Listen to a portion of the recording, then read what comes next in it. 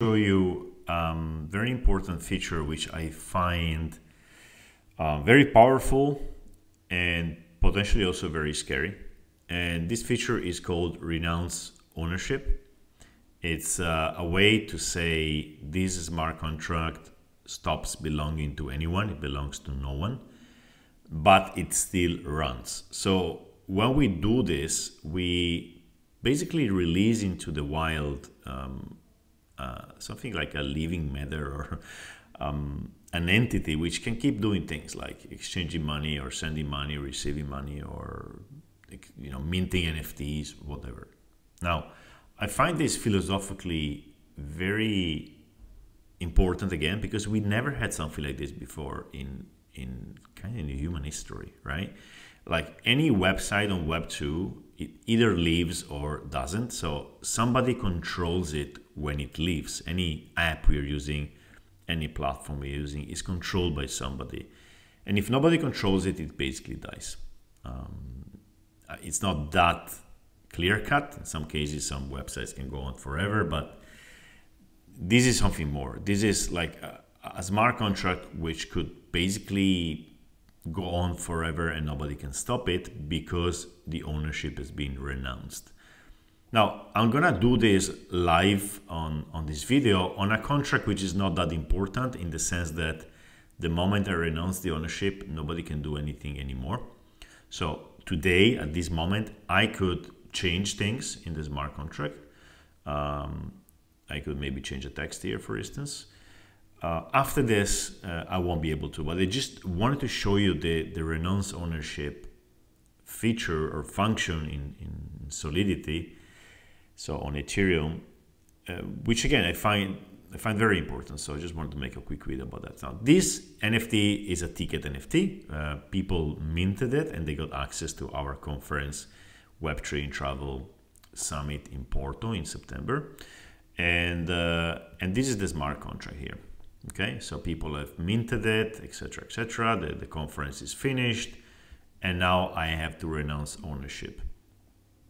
I go on write contract. I am the owner now of this contract, so I connect my wallet. This is the trips community dot ETH um, address. So it's a well-known address. Uh, I have to connect the, the, the MetaMask to get control of it. Because I'm the owner, I can do these things. And I can go on renounce ownership. Now, this is kind of an educational video, right? So again, in this case, it's not that important. This smart contract is anyways not being used anymore. But in many other cases, it's basically taking a living thing and releasing it into the wild, into nature, and make it impossible to bring it back. So this is the you know the Pandora box of the internet in a way. Um, or releasing a dangerous new kind of bacteria or virus if it's negative, or releasing you know some uh, pollution eating bacteria in the good way, whatever. It's releasing stuff into the into nature. In this case, the ecosystem of nature will be uh, Ethereum. Actually, more precisely here is the Gnosis uh, blockchain. But anyway, I just wanted to show you. So if I click write, and then I pay a fee, let's make a bit faster. So,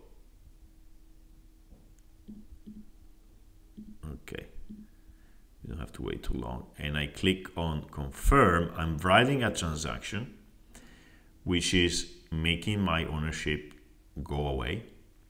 Let's see if it's minted. Uh, sorry minted has been done. So it is being done now. Um, and if I go now to read contract and I look at the, about the owner who is the owner now this address, which is an address nobody controls. Now, this smart contract is effectively without an owner.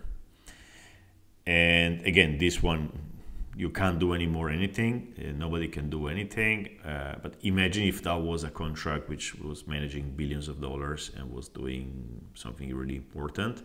Now you wouldn't need to trust somebody not to do something wrong or you couldn't stop somebody doing something bad, depending on the smart contract again.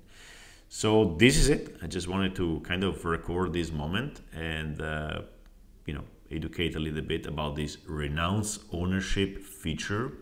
I keep calling it feature, but probably it's not a good name. It's, it's a function, I guess. And uh, yeah, look at that because maybe one day we're gonna see on the news that somebody has renounced the ownership of a contract. We now we can stop and the world will end or whatever. So there you go. Renounce ownership. Philosophically, very relevant in my opinion and underrated. Nobody's talking about this. Uh, yeah, very important one. Okay, thank you for watching this video.